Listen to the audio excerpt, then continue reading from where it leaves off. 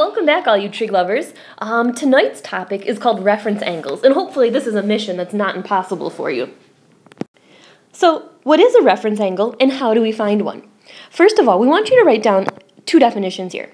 A reference angle has to be a positive acute angle.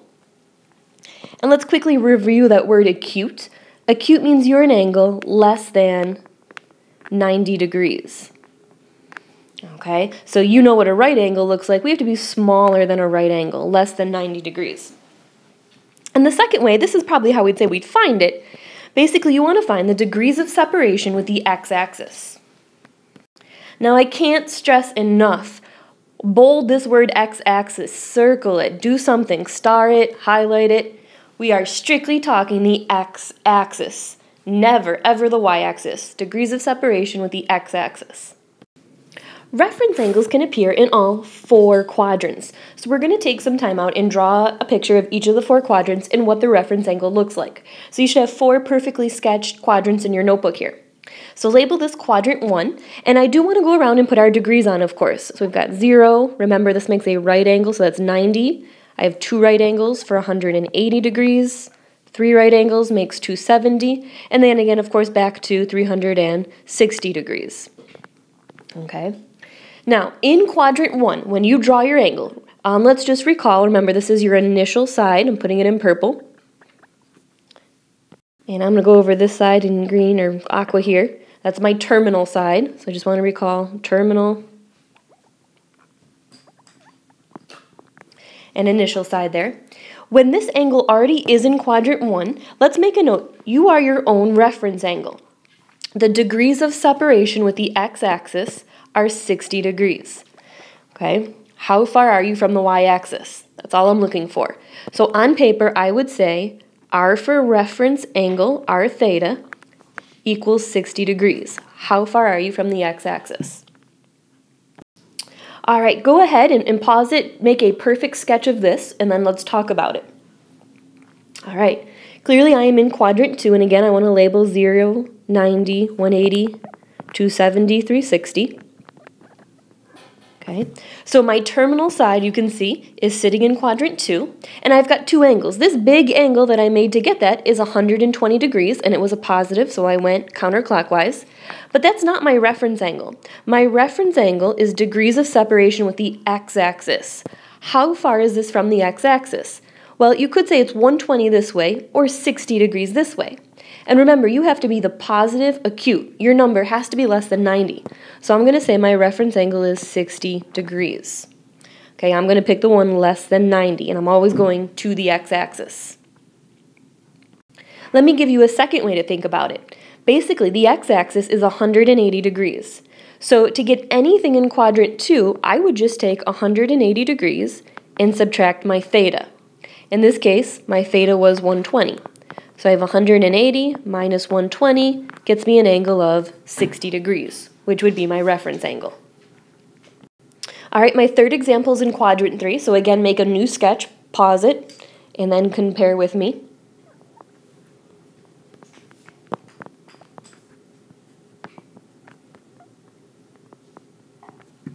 All right, this time my angle is sitting in quadrant 3. Okay, and the question is, how far are you from the x-axis? So again, to get this x-axis, I went a positive 120, but I would say I'm only 60 degrees from the x-axis. Now, how did I get that? Well, basically, I took my theta and subtracted 180 degrees. So I said 240 minus 180 gets me a reference angle of 60 degrees. Okay, so remember, degrees of separation with the x-axis. All right, my last quick sketch um, is in quadrant 4. And notice I graphed an angle of 315 degrees. So I went positive 315, which puts me in quadrant 4. Now 315 can't be my reference angle. It's not positive and acute. So basically I'm saying how far am I from the x-axis? Okay, so this time I would say, okay, I would take my whole circle 360 and subtract my 315. And that would get me a reference angle of 45 degrees. So I can't stress enough, you're always saying, how far am I from the x-axis? And you're just going to make a quick sketch and, you know, either add 180, subtract 180, or subtract from 360. All right, before we dive into any examples, I want to make a quick summary of what we just talked about. Okay, a reference angle is your degrees of separation with the x-axis. And remember, it has to be positive and acute. We're looking for two things, separation from the x-axis and positive and acute. So I'm going to go ahead and draw a reference angle in each quadrant. Quadrant 1 looks like this, and I want you to put an r theta there. In quadrant 2, my reference angle, again, I'm going to the x-axis. Quadrant 3, again, always go to the x-axis. And quadrant 4, same idea, to the x-axis. All right, so your reference angle should always be touching the x-axis. All right, now there's a little math you can memorize, or hopefully it's a little common sense. In quadrant 1, you're your own reference angle. You don't have to do anything fancy. In quadrant 2, to get this angle that I'm going to shade in orange here, I basically would take this line, 180 degrees, and subtract theta. In quadrant 3, to get this angle in here, I would do the opposite. I would take the whole angle and subtract 180 degrees. And in quadrant 4, the x-axis has nothing to do with 180 now. Notice 180 is on this side, so it's for these two quadrants. This time I'm dealing with this line, which is 360. So I would take 360 and subtract theta, and that would get me my reference angle. So it kind of, you know, looks like a bow tie almost, and we're only talking about 180 on this side, 360 on this side, and this time you're in your own reference angle. So let's try a few quick examples. Here are the directions. Sketch the angle and state the reference angle. Number one, the sine of 125 degrees. Okay, so the first part was sketch the angle, so make a quick sketch of 125. I've got my 0, 90, 180, 270, back to 360. 125 is clearly between 90 and 180. Okay, so initial side, terminal side, put your angle in. Okay, so that was the first part. And now it says state the reference angle. So the question is, how far are you from the x-axis? Well, you can't use 125 because even though it's positive, it's not acute. So you need to go this way to the x-axis. And I'm going to put a big X in there. I need to find that angle. Well, if I wanted that angle, the whole line is 180, and this piece is 125, so I would just subtract. 180 minus 125 leaves me with a reference angle of 75 degrees. And that's all we're looking for. Reference angle equals 75 degrees. Let's try another one. Tangent of 250 degrees. So 0, 90, 180, 270, back to 360. Okay, 250 is going to fall between 180 and 270. So again, get your initial side, terminal side, throw some arrows there, label your angle, Theta equals 250, so that's what we did that second day in trig. And now you need your reference angle. How far are you from the x-axis? Okay, so if I wanted to go from my terminal side to the x-axis, hopefully you're shading in this section, I'd be looking for this piece. Okay, now just ask yourself, how would you get that? Well, if you know this whole thing is 250 and you know this line is 180, hopefully you're saying just take 250 and subtract 180. And I've got a nice angle of 70 degrees Oops, equals my reference angle. All right, let's try one in radians. The sine of 5 pi over 3. So I'm still going to go 0, 90, 180, 270, back to 360. And it's probably easier if you convert this to degrees. And we talked about that last week. So if I want to convert to degrees, here's what I say to myself. If I want degrees, then I'm going to put the degree on top. Whatever you want goes on top. So I'm going to say that's 180 over pi. Right, so convert to degrees, put your 180 on top. And now let's go ahead and clean up. My pi's are going to cancel. Um, I'm going to reduce this. 3 goes into 18 six times. I'm going to leave my 0. 60 times 5 is 300. So I get 300 degrees. And I think it's probably easier to graph in degrees than it is radians as of now. So I'm just going to graph 300 degrees, which is in the fourth quadrant. Okay, so I'm going this way, 300. Now remember, your reference angle is how far you are from the x-axis. So you could be thinking you could go this way, but that's not an acute angle. So remember, we want the acute angle. I'm going to put my x in here. How far is that from the x-axis? Well, all the way around would be 360, and I know I went 300. So I would say I'm 60 degrees from the x-axis would be my reference angle.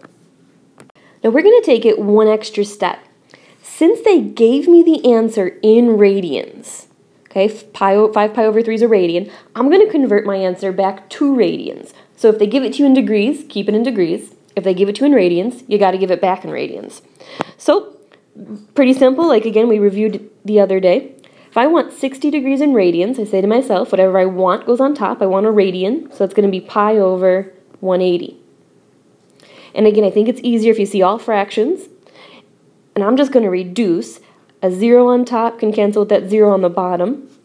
6 goes into 18 three times, so I would say that 60 degrees is really pi over 3 radians. And I would say that would be my final answer. That's a reference angle of pi over 3. All right, cosecant of 5 pi over 4. So again, I'm going to take the time to convert to degrees because that's easier. So I've got my 5 pi over 4 Hopefully you're, you're, you're a step ahead of me and doing this on your own. If I want degrees, I put my degrees on top. 180 over pi. Uh, I can cancel my pi's. Uh, 4 goes into 18. 4 times remainder of 20, so that's 45. 5 times 45 gets me 225. So I'm really graphing 225 degrees. So if I throw my degrees on there, maybe you know those by now and don't have to write them every time. 225 falls between 180 and 270. So initial side, terminal side, put my arc in there. That's 225 degrees. Um, my reference angle is how far I am from the x-axis, degrees of separation with the x-axis. So if that whole angle was 225 and I subtract my 180, I should get a reference angle of 45 degrees. So I'm going to make a note, reference, whoops, angle equals 45 degrees. Now, don't forget, if they give it to you in radians, let's put our answer back in radians. So now I'm going to take 45 degrees, and to turn that to radians, I'm going to multiply, I want radians, so now I want my pi on top, over 180. So to clean that up, I can say, I can put that over 1 if I want. 45 goes into 180, I would say 4 times. So I've got a reference angle of pi over 4. All right, the sine of negative 220 degrees. We're going to sketch and state its reference angle. Now, we haven't done a negative one in a little while, so let's just review. Got my 0, 90, 180, 270. Those are staying in the same order. What's negative is the angle. So instead of going counterclockwise, this is just telling me to go clockwise. Okay, so I'm going to go 220 degrees, but instead of going to the left, I'm going to the right. So from here to here is a right angle, that would be 90. Here's another right angle, that would be 180. If I want the third right angle, that would be 270, and that's too much. So I know I'm going to end up in the second quadrant. Now I'm going to mark an angle of negative 220 degrees. All right, so to get my reference angle, that is your degrees of separation with the x-axis. So remember, you want to be positive and acute. So I'm finding this angle in here. How far am I from the x-axis? Well, I would take, in my head, I would say that's 220 degrees minus 180. And that looks like a reference angle of 40 degrees. Now notice I'm not saying negative 40 degrees. If you look back to our definition, it had to be a positive acute angle. So even though we went negative 220 to begin with, I'm still 40 degrees away from the x-axis. Okay, I always want to make sure I give a positive acute angle. Well, I think that does it for us tonight. Um, come with some great notes and any questions that you may have. And just remember that reference angle is a positive acute angle and how far you are from the x-axis. Have a great night.